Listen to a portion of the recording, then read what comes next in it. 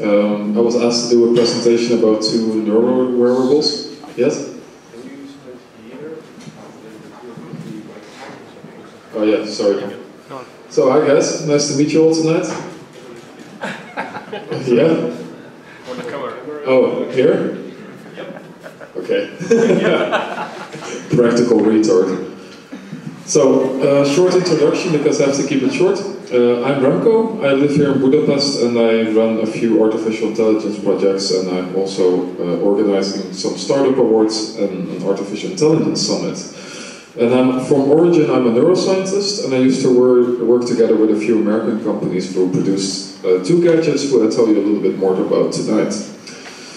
Um, if you're interested, um, I'm organizing, as I said, the first artificial intelligence summit here in this city, and we're already run out of tickets. So if you guys still want to join, check out budapest.ai.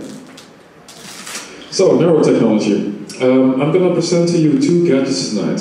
You might be thinking, what is that thing on his head?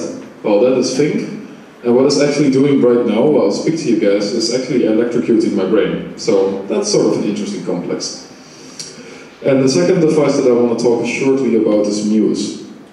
Um, what I've always been quite interested in is, uh, recently you can hear a lot about like technology and all sorts of fascinating developments in society, but what does it really add to our quality of our lives?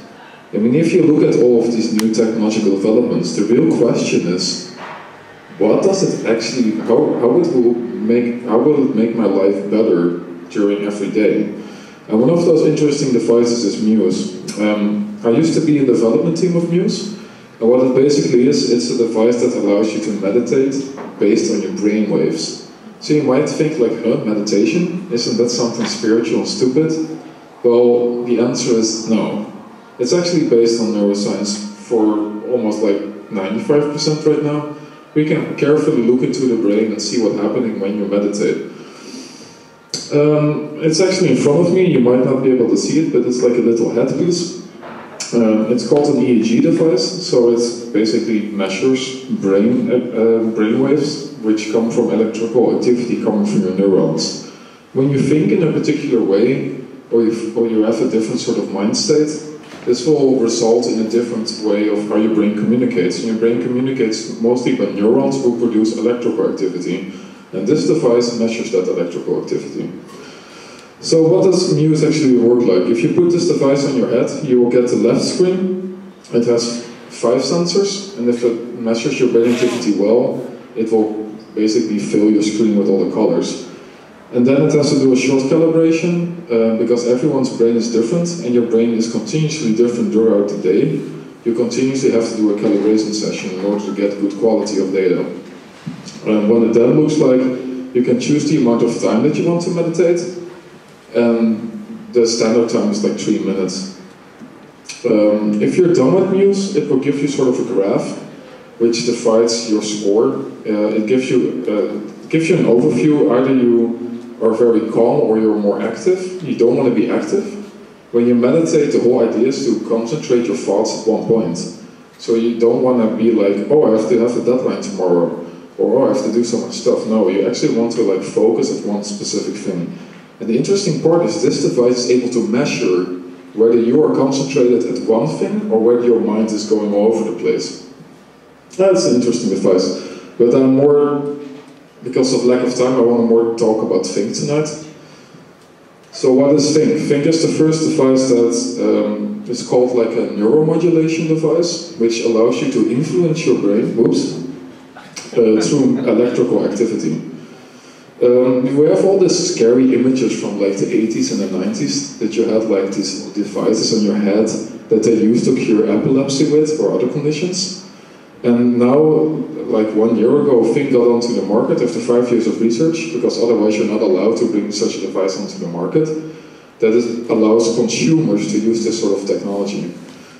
So the whole idea behind this is when I use this thing, um, I'm able to calm myself down without using chemicals or medicines or alcohol or pills, which makes it a very interesting device because it allows you to control the way you feel without being dependent on something.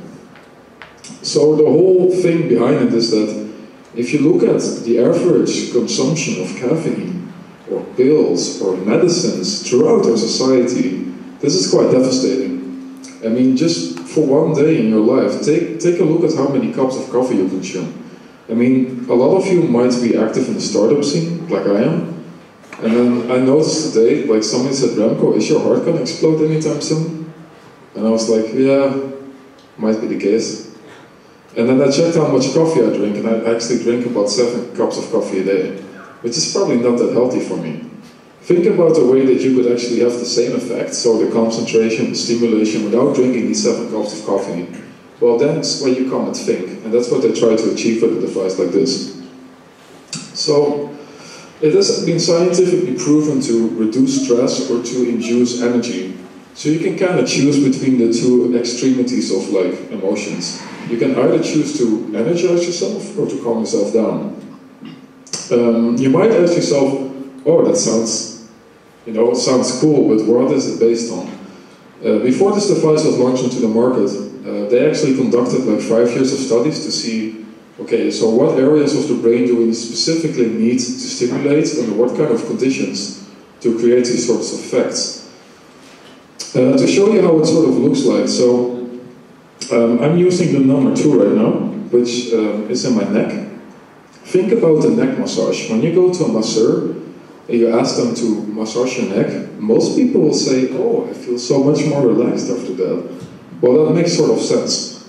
Um, in your neck, all the main nerves that control your brain to calm down basically come together. And what this little thing does is it stimulates a part of my brain that controls all other areas to induce relaxation while also stimulating those nerves in my neck to tell my brain, hey Remco, you should calm down, man. Oh, that works that way. This is kind of rocket science. Um, this is from a publication in Nature. So if you are interested in how this thing works, the only thing that you have to Google is Thync and nature, and you get the publication that they have. So when you look at the little thing down there, it's called 10. And this is my neck, and where neocortex says is my head. So this is how you have to look at it. And what it basically does right now is stimulate these two areas, and this is how the entire diagram looks like. Um, when it comes to research, I will sum it up shortly but they use specific conditions to look at uh, stress hormones. And the most uh, noticeable effect is that when you put on a fake Thync and a real one and no Thync, the real condition showed significant reduce of all sorts of stress hormones like A-amylase, galvanic skin response, but also cortisol and adrenaline. So it definitely has a good effect. That was it. I hope it was a little bit understandable. If you have any questions, I'm uh, glad to answer any. Thank you.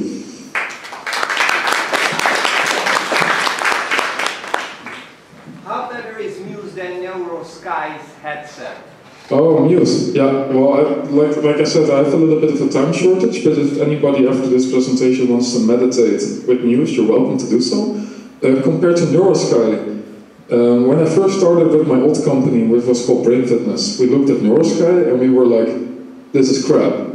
So NeuroSky only uses one sensor, and the quality of data that uh, NeuroSky captures is, is, is, garbage. It's, it's toys. I mean, you cannot say anything relevant about the brain with one sensor. I mean, I'm not, I haven't looked at their most recent headsets, but what they used to have, it's called a Mindwave. Nah, I would stay far away from that. I would even say that if you want to conduct real research, don't even use Muse because it only has five sensors. And these five sensors are optimized to capture meditation, not something else. Yeah. New question then, what is the best headset for neurofeedback training? I would say the Emotiv. Oh, the Emotiv. Okay. Yeah, the EPOC. Addicted to me to think. Well, I am already sort of addicted. So um, normally in my office, people say, Remco, are you using it again? I'm like, yeah. You have a problem with that? No, so the, the interesting part is, is that uh, I don't fuck around with chemicals. So if you take caffeine, if you take alcohol, if you take anything that you physically have to like digest, it will always release a sort of addictive effect on you. The thing is that I created a mental addiction to this thing. Um, but the counter effect is that if I use it for three days in a row, I will see a significant decrease in effect. If I wait for a few days and then use it again, it seems to like, oh, I'm so chilled. But if I use it for like five days in a row, it doesn't seem to have much effect on me anymore after a while. Any other questions? You can ask, how does it feel like? well, it, you can actually sort of like control the intensity. So you can put it to 100% and you're like, I'm getting a stroke. Or you can put it at 20% and then feel sort of chilled. Why, why should I do the 100%? Um, that's a bit fake. They say that it depends on the user. So you have to sort of divert between 50 and 100%. And the idea is that you feel something. So right now I'm moving my neck a lot, so it feels that somebody's stinging a few needles in my neck. That's okay, I got used to that. But for, for new users, it's a, it can be a bit of a weird experience.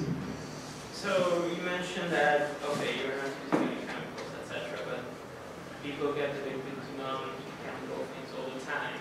And yeah, you mentioned that you like use it for a few days in a row, but that's a sample size of one. So what's there to say that, you know, uh, let's say 1,000 people start using it, and then what's there to say 200 people get addicted it? No, well, I think that I think that you would speak about a mental addiction because all addictions are based on chemicals. If you look at, for example, alcoholism, or you look at anything else, sex addiction, it's all based on dopamine or something else. The thing is that this thing doesn't release those chemicals in my brain. This is the main difference. Is this approved by like I don't know, FDA or any kind of? Yeah, it's FDA approved, but it never got into Europe. So is it legal in Hungary, for example? uh, I wouldn't be able to legally sell it to you, no. And illegal? Brexit. No, but it's FDA approved, but uh, as you can understand the complexity of using such a thing and telling your average day man on the street like, hey man, you should stop using caffeine and drink that cup of coffee, you should stop doing this, and they're gonna be like, what are you talking about? So it will take a time for, you know, to optimize this sort of product. You tried it while asleep. While asleep, well, I once fell asleep with it on my head, yeah. But besides that, no. It's, it, it actually sort of that uncomfortable, and you can actually feel it that well that I'm not sure if you could actually sleep on it. I tried to meditate with it, that worked pretty well. But for the rest, no. Last question? Can we try it for? You're more than welcome to try, yeah. But I would recommend trying that Muse thing because that's a really interesting experience to do one time. Alright, thank you for your attention, guys.